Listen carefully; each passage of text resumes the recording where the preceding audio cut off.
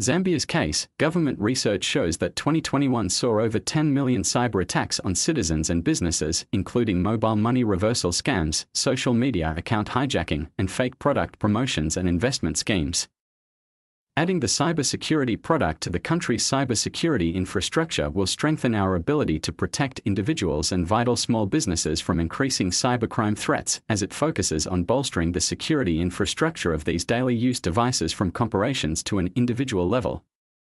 Alset will offer comprehensive cybersecurity services, including threat intelligence, detection, and incident response, VPN provision, direct control to the device, which give us access as a company to run specific tests on the device and resort a problem in a matter of seconds without having direct contact with the device or a need of a user to reach for any technical advice or filing a report to Zicta.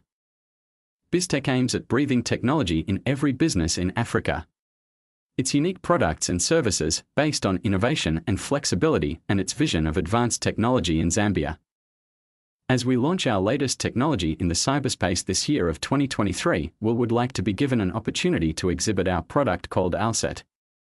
As a cutting edge technology that will revolutionize the cybersecurity industry not only in Zambia but globally. Alset is a flash drive that will be sold on every store like any other flash drive but unlike any other stick drive this is a cyber companion that will not only defend user devices from malicious attacks but also offer a vast majority of technical services that solves and simplify the usability of the device, computers and phones.